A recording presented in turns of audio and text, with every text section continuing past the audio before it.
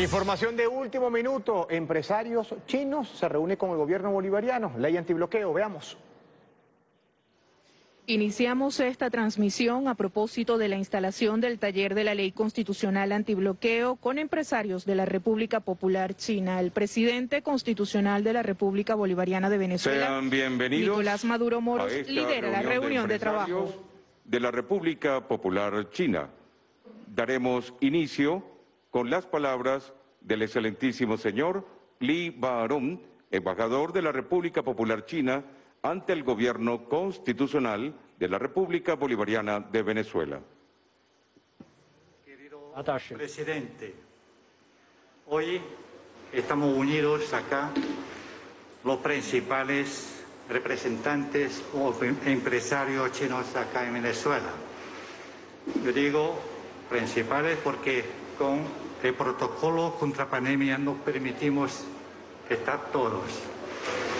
Y con las palabras de vicepresidentes de Economía y ministro de Petróleo, con las palabras de la vicepresidenta ejecutiva, estamos muy alentados de cómo trabajar, de cooperar, seguir cooperaciones ante estas nuevas circunstancias, de cómo trabajar bien con, entre ambas partes con esta nueva ley antibloqueo. Y no recuerdo cuántas preguntas ha contestado la vicepresidenta a nuestros empresarios. Y todos estamos ansiosos de escuchar a sus palabras. Bienvenido, presidente. Muchas gracias. A continuación, palabras del ciudadano Nicolás Maduro Moros, presidente constitucional de la República Bolivariana de Venezuela. Saludo a todos, con su permiso.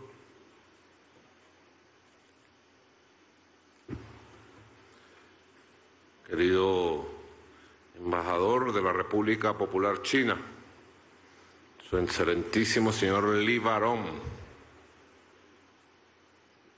queridos y estimados miembros de personal diplomático, político, de la Embajada de la República Popular China, señores empresarios, señoras empresarias, de todas las empresas chinas que trabajan activamente en nuestro país, mi saludo,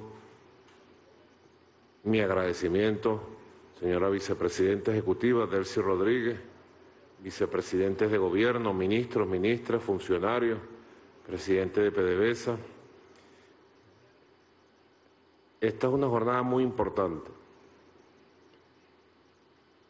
que debe afirmar el nuevo camino de Venezuela. China hace más de 40 años tomó un camino para la expansión y el desarrollo de sus fuerzas productivas. Y en ese camino fue perfeccionando la estrategia, las políticas, y fue creando en el aprendizaje todos los mecanismos necesarios en su política empresarial, en su política fiscal, en su política monetaria, en su política de inversiones, todos los mecanismos necesarios para facilitar y consolidar el camino de la expansión y el desarrollo, el crecimiento de las fuerzas productivas. Cuando se habla de expansión, crecimiento de las fuerzas productivas de un país, todo tiene que verse y medirse en desarrollo de la riqueza, desarrollo del Producto Interno Bruto real, de la economía real que hablamos nosotros. A mí me gusta hablar mucho de la economía real, porque también en los últimos 30, 40 años en el capitalismo occidental, se desarrolló una economía de papel, una economía de la especulación, una economía de la llamada economía del mercado, que no está sustentada en la satisfacción de las necesidades reales del ser humano, de la sociedad, de la familia, en la producción de los bienes, servicios, productos que necesita el ser humano para su desarrollo en sociedad, sino que está basada en la creación de riqueza ficticia, creciente, que se ha multiplicado en burbujas de todo tipo, financiera, bancaria, inmobiliaria. Nosotros insistimos en el desarrollo y la expansión de las fuerzas productivas de la economía real,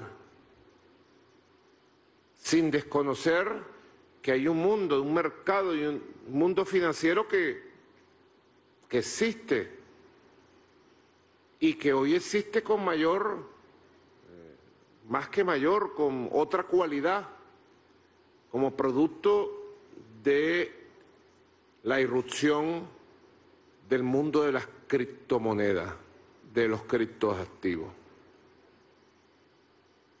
Por eso, cuando hicimos la ley antibloqueo, el centro de la ley antibloqueo es la construcción de nuevas alianzas para el desarrollo de la economía real, la que satisface necesidades sociales, económicas, la que satisface las necesidades de la clase obrera, de los trabajadores, de las trabajadoras, de la familia venezolana. La economía real que produce la riqueza, que a su vez es reinvertida o invertida para los llamados equilibrios macroeconómicos tan necesarios en una economía sana. Venezuela, saben ustedes, ha sido objeto de un ensayo macabro de la élite supremacista blanca que ha gobernado Estados Unidos los últimos años. Amenazas de invasión militar, manipulación y mentiras sobre nuestro sistema político,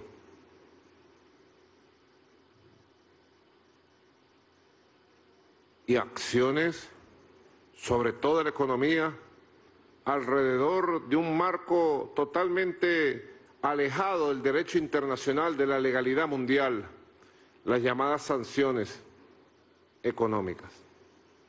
Cuando se habla de sanciones económicas se habla de la persecución financiera, comercial, económica, energética, política contra la economía de todo un país. La persecución contra todas las cuentas bancarias de un país entero,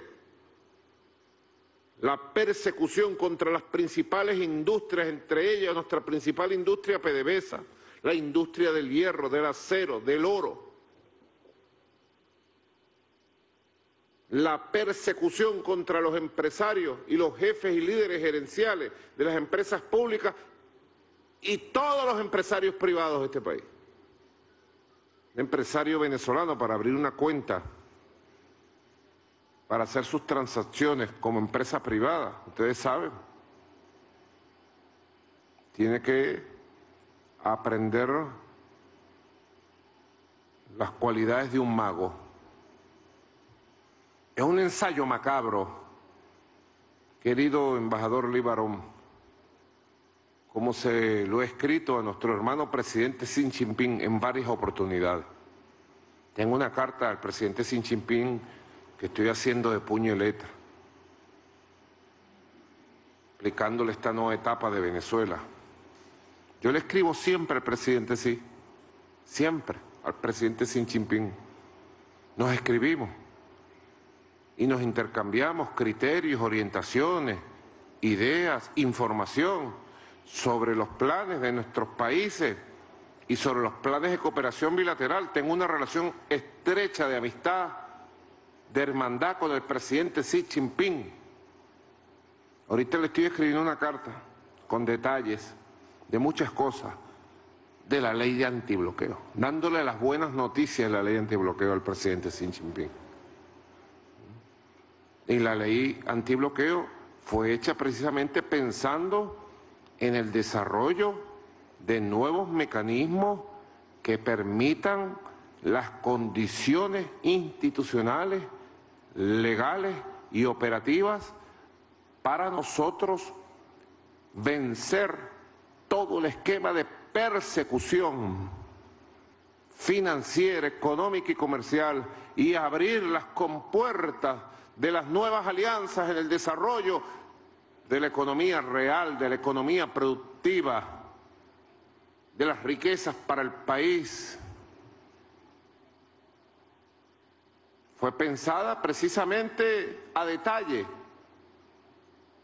con la experiencia de estos tres años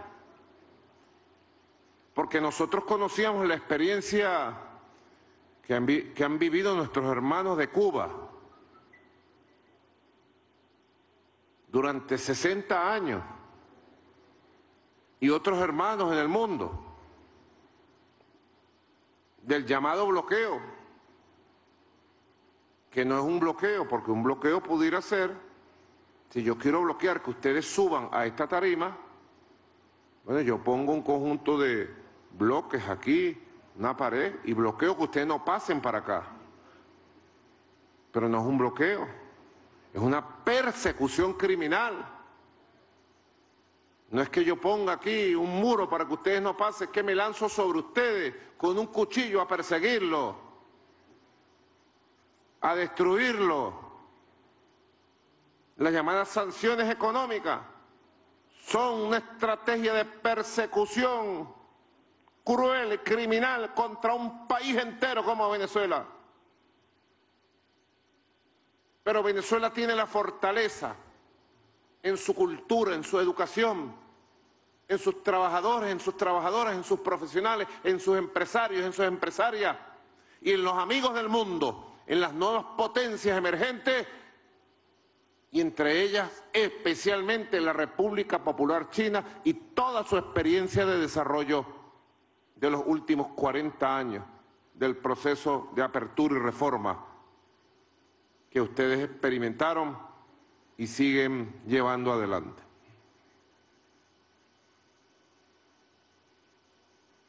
Las jornadas de trabajo se vienen incrementando con empresarios venezolanos de todos los sectores de la economía, con empresarios internacionales que tienen sus inversiones en Venezuela, que quieren incrementarlas, o empresarios internacionales que están viendo a Venezuela como la gran oportunidad. Por eso quise participar de esta jornada con los empresarios de la República Popular China. Le dije a la vicepresidenta Delcy Rodríguez, al vicepresidente de Economía, Tarek El Aizami, a todos los ministros, ministras, vayan a responder preguntas. Y de esta jornada de trabajo donde ustedes han hecho un conjunto de peticiones, donde han formulado un conjunto de preguntas, de esta jornada de trabajo deben surgir ya jornadas de aterrizaje, de nuevas oportunidades. Aterrizar ya en las nuevas oportunidades de ampliación de inversión en las áreas donde ustedes están, de nuevas inversiones en nuevas áreas. Para todos nosotros hemos buscado alternativas. Hoy la ley antibloqueo que tiene carácter constitucional y eso es muy importante, querido embajador.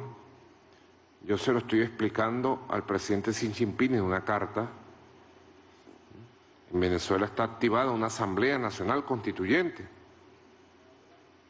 La Asamblea Nacional Constituyente, de acuerdo al derecho constitucional, al derecho constituyente universal, pero específicamente de acuerdo a la doctrina contenida en esta Constitución,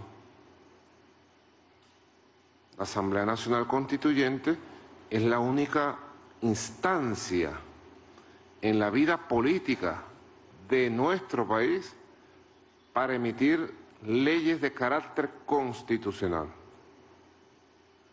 Las leyes de carácter constitucional tienen rango y se asemejan a la norma de la Constitución.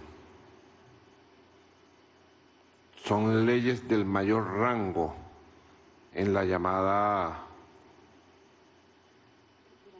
pirámide de Kelsen, llamada así por los abogados, reconocido así por nuestro Tribunal Supremo de Justicia. Le dimos el mayor rango. Y de la ley antibloqueo se desprenderán un conjunto de leyes ordinarias y de leyes especiales para desarrollar todos los aspectos de la ley antibloqueo que aquí hemos entregado ya traducida completamente en mandarín, en idioma chino. Aquí está completica, pues, para que corra por la China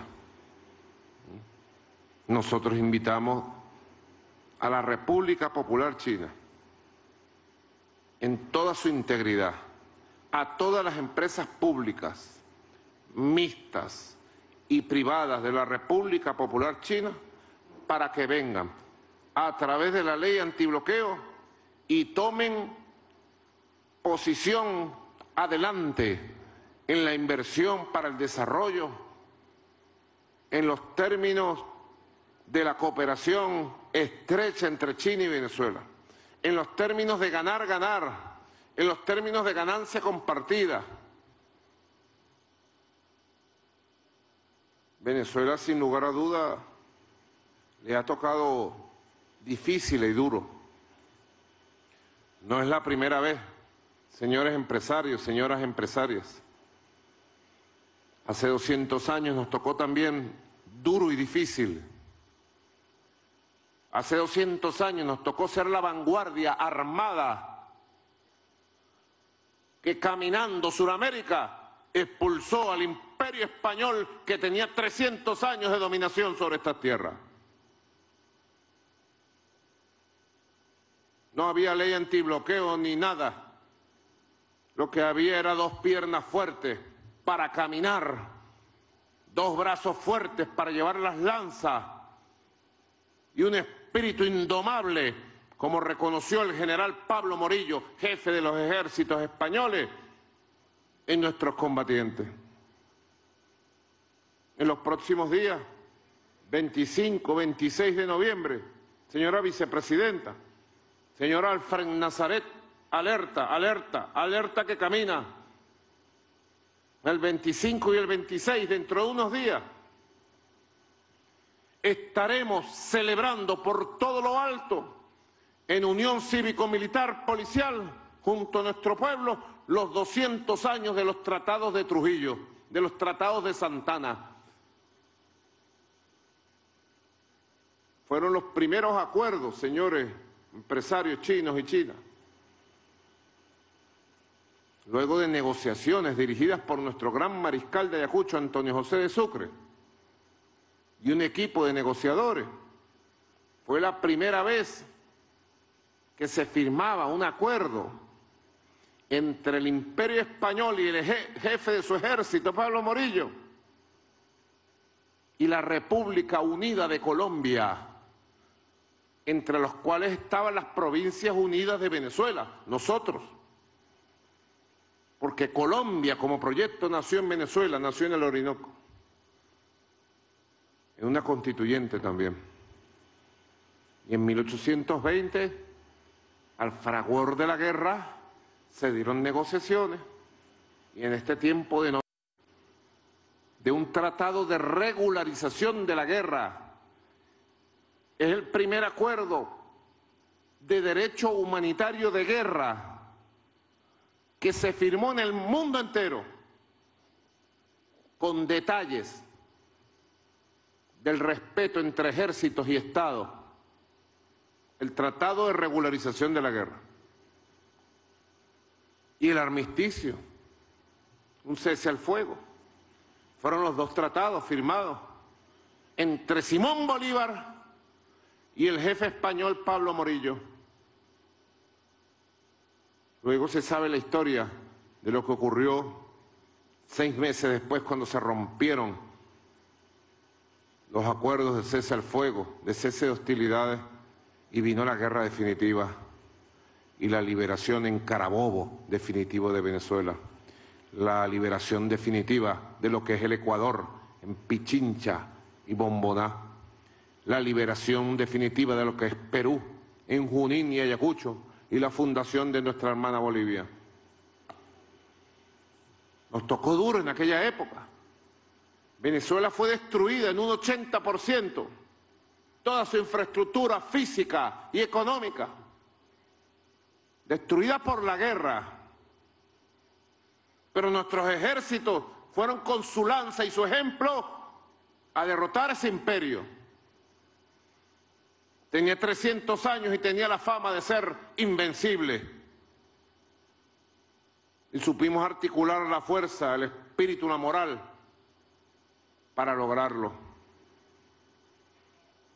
Hoy, 200 años después, los hijos, los herederos de aquellos libertadores, hemos logrado juntar la estrategia, la sabiduría, la fuerza moral y la capacidad de trabajo para decir la resistencia venezolana es victoriosa frente a todos los ataques del imperio estadounidense en todas sus formas.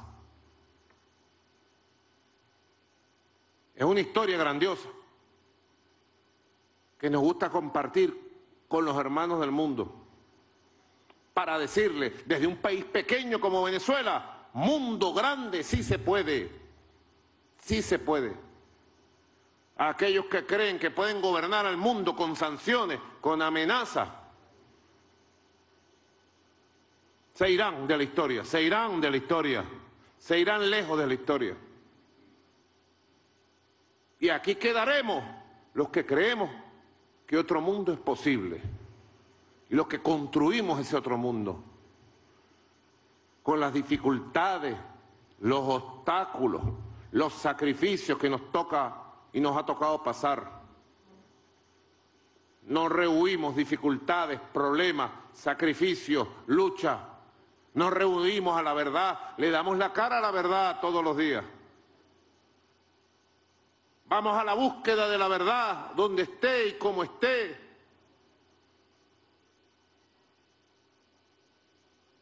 Somos un proyecto histórico.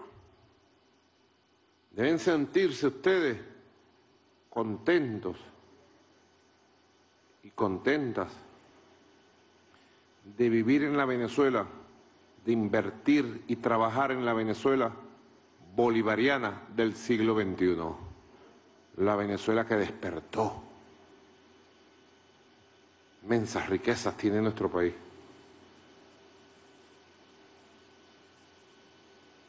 Riquezas espirituales en este pueblo lleno de valores y valentía que nos sorprende todos los días. Un pueblo educado, culto. Hemos educado una generación de jóvenes impresionantes en el desarrollo del conocimiento, de la ciencia, de la técnica. Nos falta mucho más, pero estamos bien encaminados.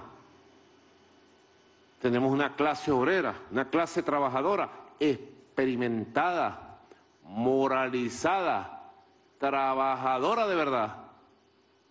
Donde usted vaya a conseguir una clase obrera moralizada, trabajadora, con ganas de salir adelante en su trabajo.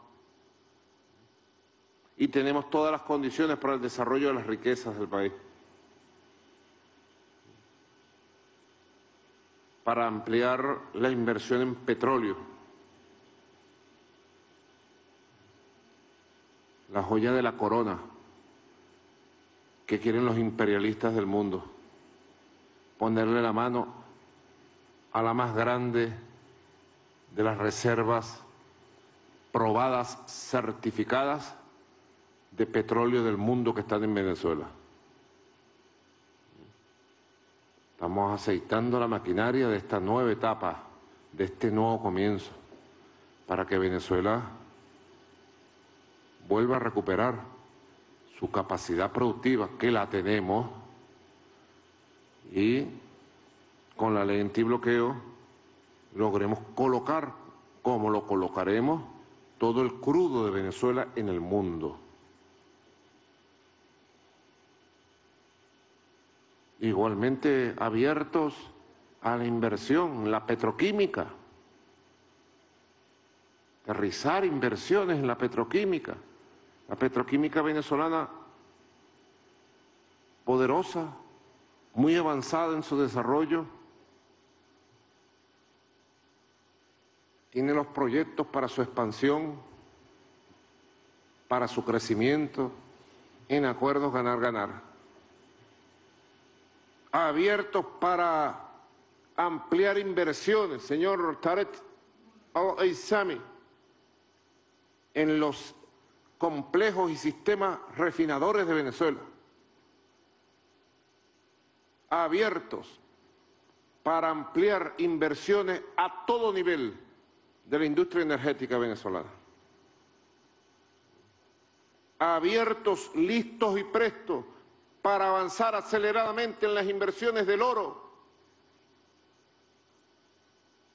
en las inversiones de hierro, acero, aluminio,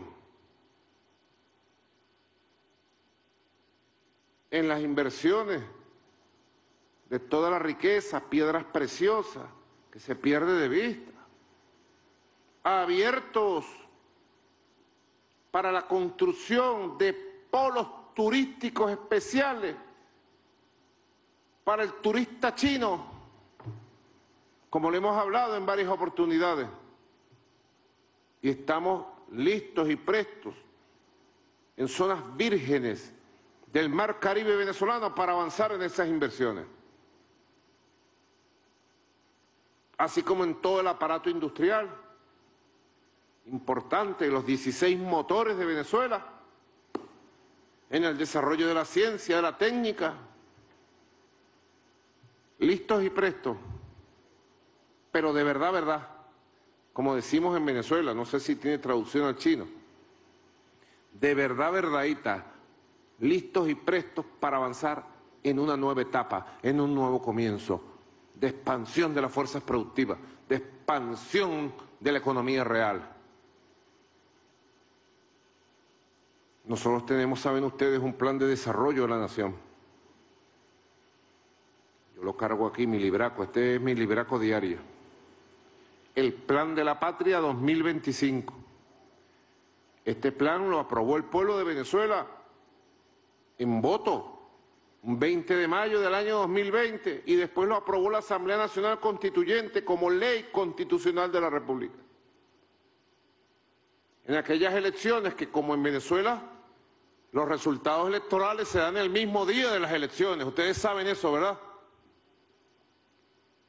Aquí está toda la visión, toda la estrategia, a detalle, a detalle, aquí está nuestro ministro de Planificación, vicepresidente de Gobierno para la Planificación, el profesor Ricardo Menéndez. Aquí ustedes lo ven, mire. Aquí está en detalle, es una cosa impresionante. Este plan lo ayudó a escribir de puño y letra el comandante Hugo Chávez. ¿Ustedes sabían? Y nosotros lo que hemos hecho es tomar la letra del comandante Chávez, el pensamiento, la estrategia, el espíritu, y llevarlo al detalle de cada sector de la sociedad y de la economía. Esto lo aprobó nuestro pueblo en aquellas elecciones donde presentamos el Plan de la Patria 2025. En esas elecciones, a las 10 de la noche, del mismo día de las elecciones, se sabían los resultados en Venezuela. Estamos muy preocupados por los Estados Unidos por lo que está sucediendo. Yo estuve hoy viendo ABC, NBC, Fox News, CNN, en español, en inglés, y viendo todas las televisoras estadounidenses para tratar de entender qué va a pasar en Estados Unidos. Si alguien aquí sabe qué va a pasar en Estados Unidos, por favor levante la mano y me lo explica. En las calles se calienta el público. Unos dicen una cosa, otros dicen otra cosa. Las tendencias dicen que pudiera ganar uno, pero al otro día dice que no, que está ganando el otro. Estados Unidos de Norteamérica, United States of America. Nosotros queremos tener buenas relaciones con Estados Unidos. Cuando yo digo esto a veces se interpreta como debilidad. ¡Ay, Maduro está débil! Maduro se rajó. Es el momento de Maduro, vamos a acabarlo. Pero es que no lo dice Maduro, un ser humano, de a pie, un obrero, un autobusero como soy, ustedes saben, ¿verdad? Que se la pasaba en las calles aquí, a pie. Soy el mismo hombre, el mismo obrero. Yo lo digo, cuando digo esto, lo digo a nombre de un país entero que es Venezuela. Queremos tener las mejores relaciones de diálogo, respeto, cooperación con los Estados Unidos de Norteamérica. Gane quien gane. Algún día podrán entenderlo, algún día lo entenderán. Es cuestión de tiempo. Se levanta una nueva conciencia en la humanidad, se levanta una nueva conciencia en los Estados Unidos de Norteamérica en su juventud, en su pueblo. Ya no quieren guerras imperialistas, ya no quieren amenazas y saqueos, ya no quieren que América Latina se le trate como patio trasero, no lo quieren ellos y nosotros no lo queremos nunca tampoco. Es nuestro mensaje coherente, permanente, y algún día lo lograremos. Algún día lo lograremos. Esperemos a ver. Y el que entienda lo que está pasando en Estados Unidos, por favor que me llame. Ahí está mi teléfono. Anótenlo ahí. 0415 555 sin corriente. Mi teléfono, me pueden llamar por ahí. Es un chiste. Es un chiste, sobre todo se lo explico a la gente de derecha al escualidismo que todavía queda por ahí, es poquito pero queda, porque ellos se vuelven locos cuando uno dice un chiste, entonces la agarran por ahí, pues. Era un chiste.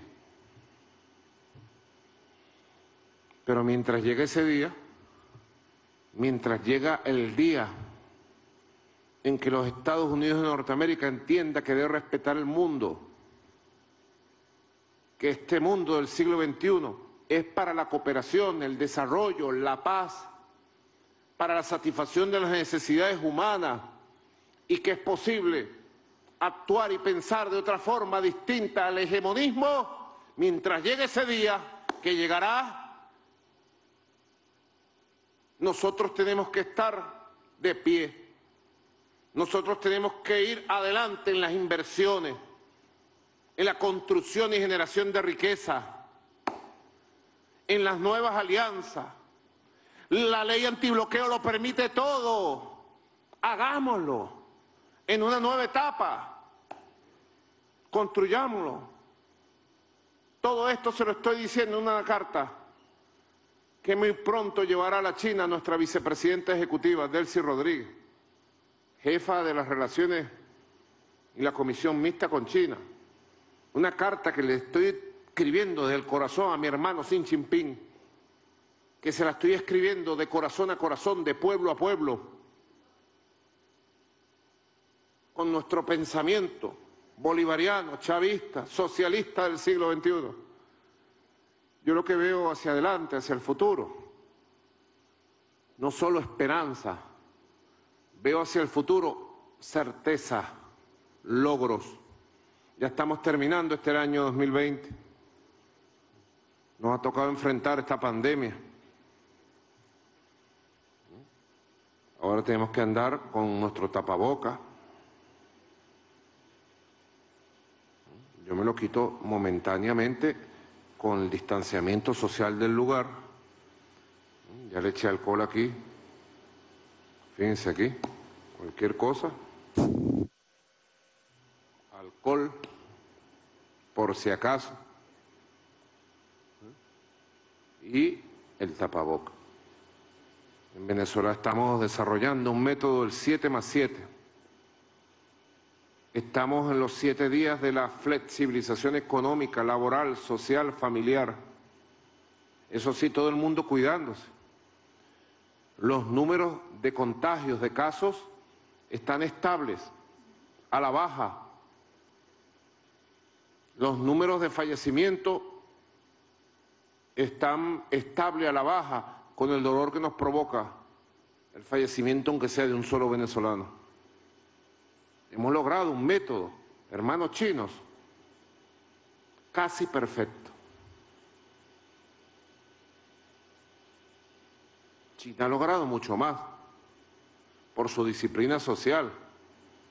China impresiona al mundo. Yo me impresiono en Telesur yo veo los reportes diarios de Telesur. Tiene una periodista que da reportes diarios directo de Beijing.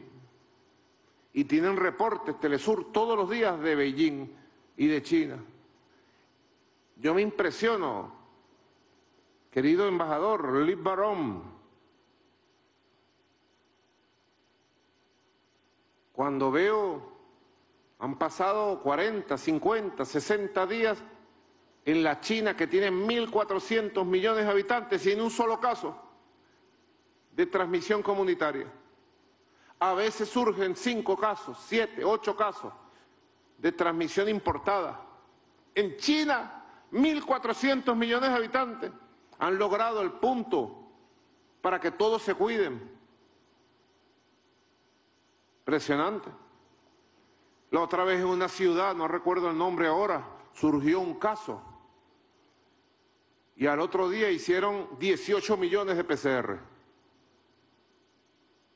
China, la gran China, la gran China revolucionaria, la gran China del siglo XXI. Náguara, decimos aquí, no tiene traducción, Náguara. ¿Mm? Náguara. Y nosotros hemos conseguido modestamente un método casi perfecto que nos debe llevar de manera real en el paso de las próximas semanas hacia una mejor situación. Siete días de cuarentena familiar, personal, radical, voluntaria y siete días de flexibilización, siempre cuidándose. La clave de esto es Cuidarse. Primera gran clave, cuidarse. Cuidarse. Un día como hoy es peligroso los viernes, porque la gente se va a jugar dominó. Entonces como la gente está en familia, porque en las noches la gente sin necesidad de toque de queda ni cuarentena, la gente se recoge a las seis de la tarde, a las siete ya está en su casa toda la familia. Gran logro. Entonces vamos a jugar dominó, vamos a jugar Scrabble, vamos a jugar bingo, ludo, vamos a cantar y de repente sale una botellita. Hay que cuidarse, ahí es donde la gente se contagia.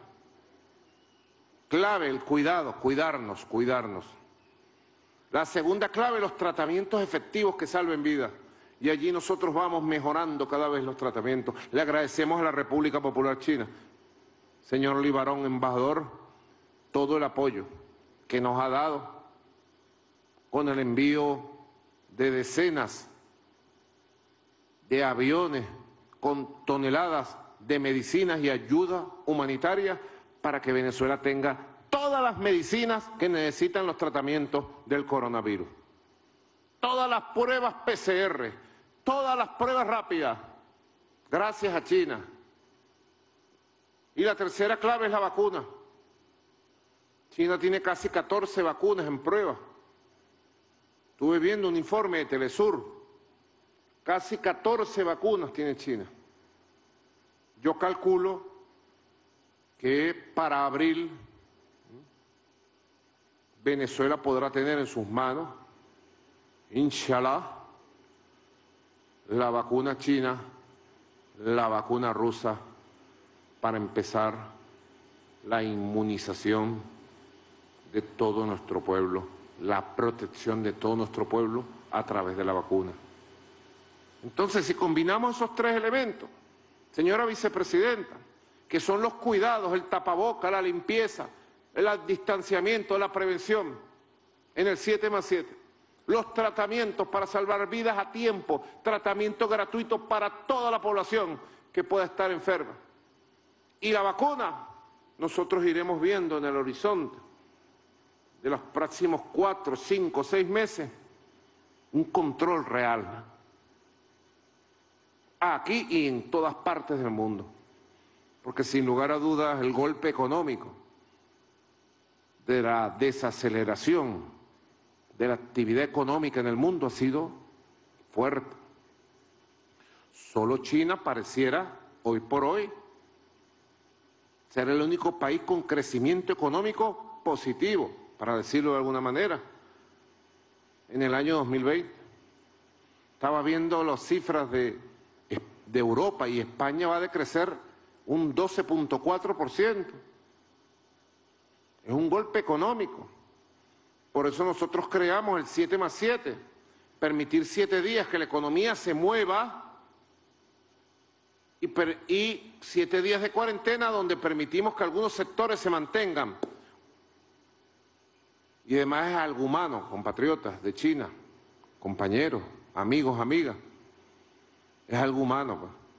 Imposible mantener encerrada a la población siete, ocho, nueve meses. Imposible, lo hemos analizado desde el punto de vista de la psicología social, desde el punto de vista de la, de la experiencia adquirida consultado a nuestro pueblo a través de grandes encuestas. Y hemos llegado a este método del 7 más 7, que creo le hace un gran bien a la vida social, a la vida familiar y a la vida económica de nuestro país. Bueno, aquí vamos con la ley antibloqueo. La ley antibloqueo, entiéndanlo, es una apuesta por un mundo libre de sanciones, de medidas coercitivas, de dictados, de dictadores desde Washington la ley antibloqueo es una apuesta grande para alianzas novedosas de gran creatividad para el desarrollo de la economía verdadera, de la economía real y de las riquezas que nuestro país puede generar y sobre todo que nuestro país necesita. La ley antibloqueo es la respuesta correcta, apropiada, pertinente y justa para lo que hemos vivido, para lo que hemos sufrido y para abrirle un camino no solo a la esperanza renovada que tenemos, sino abrirle un camino a lo que viene, a un año 2021 de recuperación, de certeza económica y de estabilidad para el bien de todos los venezolanos y las venezolanas brazos abiertos.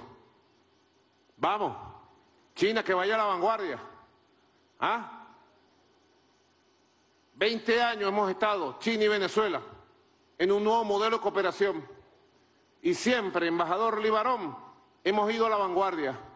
No le hemos tenido miedo a creer y a crear lo nuevo.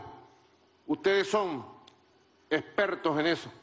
Han sorprendido al mundo en los últimos 40 años. Pido la ayuda de China, pido la ayuda de Xi Jinping, pido la ayuda de la República Popular China, con su experiencia científica, tecnológica, económica, para que la ley antibloqueo sea la expresión de nuevas asociaciones y del crecimiento de la economía real y la recuperación definitiva de nuestra patria amada Venezuela. Muchas gracias a todos y a todas. Ahora a articular para avanzar y vencer. Muchas gracias. Que Dios los bendiga a todos, pues. Muchas gracias. Bien, ha sido la intervención del presidente constitucional de la. República Bolivariana de Venezuela, Nicolás. Maduro Moros, en este encuentro con más de 100 empresarios de la República Popular China, afianzando las relaciones de amistad, cooperación y hermandad entre ambas naciones. Con estas imágenes despedimos esta transmisión.